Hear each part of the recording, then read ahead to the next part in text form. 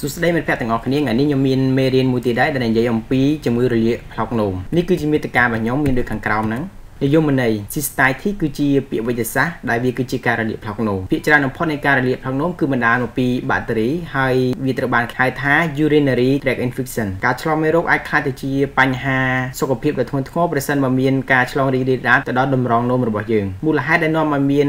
ជំងឺរលាកផ្លោកនោមគឺការបង្ករោគដោយបាក់តេរី E. coli និងមួយទៀតគឺពួក gonococcal គឺជាបាក់តេរីដែរដែលវាឆ្លងតាមផ្លូវនោមយើងហ្នឹងទោះជាបាក់តេរីគឺជាមូលហេតុទូទៅបំផុតនៃការរលាកក៏ដោយក៏មានកត្តាមួយចំនួនដែលមិនមែនជាជំងឺឆ្លងដែលអាចបណ្ដាលឲ្យរលាកផ្លុកនោមបានផងដែរនោះគឺមានដូចជាការប្រើថ្នាំពពួក Efosamid ពពួក Cyclophosphamide មូលហេតុដែលនាំឲ្យមានការរលាកផ្លុកនោមផងដែរនោះគឺការព្យាបាលដោយកាំរស្មីនៅតំបន់អាងទឹកយើងដែលវាបណ្ដាលឲ្យមានការរលាកនៅក្នុងជាលិកាផ្លុកនោមផងដែរមនុស្សមួយចំនួនអាចមានប្រតិកម្មទៅនឹងសារធាតុគីមីដែលមាននៅក្នុងផលិតផលមួយចំនួនដូចជាថ្នាំបាញ់ទឹកអនាម័យស្រោមអនាម័យដែលអាចវិវត្តទៅជាប្រតិកម្មអាឡែស៊ីនៅក្នុងផ្លុកនោមដែលអាចបង្កឲ្យមានការរលាកបានរោគសញ្ញានៃជំងឺរលាកផ្លោកនោមគឺគ្មានរោគសញ្ញាខ្លួនក្តៅទេរោគសញ្ញានៃជំងឺរលាកផ្លោកនោមមានដូចជានោមឈឺនោមញឹកញាប់នោមផ្សាក្រហាយទឹកនោមល្អក់ជួនកាលមានឈាមតកតងនឹងអង្គ clinic គឺយើងមើល CBC គឺយើងឃើញថា white blood cell ឡើងយើងអាចធ្វើ emo culture យកឈាមទៅបណ្ដោះមេរោគមួយទៀតយើងអាចមើលមុខងារតម្រងនោម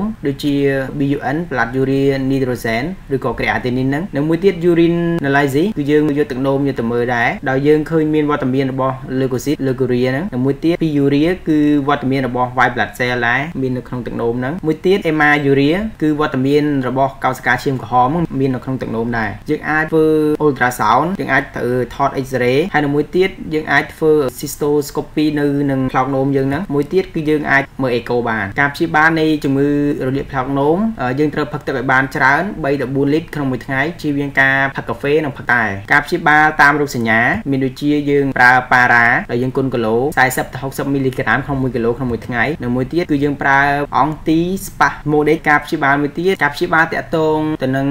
ថ្នាំអង្គទីប៊ីយ៉ូទិកថ្នាំប្រឆាំងទៅនឹងបាក់តេរីគឺយើងប្រើ Ciprofloxacin 30មីលីក្រាមក្នុង1គីឡូក្នុងមួយថ្ងៃរយៈពេល5ទៅ7ថ្ងៃដោយយើងលេបឬម្ដង50មីលីក្រាមមួយថ្ងៃ2ដងស្ត្រីមានផ្ទៃពោះយើងប្រើអំពីសាលីន2មីលីក្រាមក្នុងមួយថ្ងៃចែកចេញជា3ដងឬក៏ amoxicillin គឺយើងប្រើ1ក្រាមទៅ1ក្រាមកន្លះក្នុងមួយថ្ងៃចែកចេញជា3ដងរយៈពេល10ថ្ងៃដែរស្ត្រីមានផ្ទៃពោះគឺយើងហាមប្រើពពួក ciprofloxacin បើជាមេរោគ gonorrhea គឺយើងប្រើ Cotrim មួយថ្ងៃ2ដងរយៈពេល3ថ្ងៃការបង្ហាញរបស់ខ្ញុំត្រូវបានបញ្ចប់ហើយសូមអរគុណចំពោះការតាមដានទស្សនាសូមកុំភ្លេច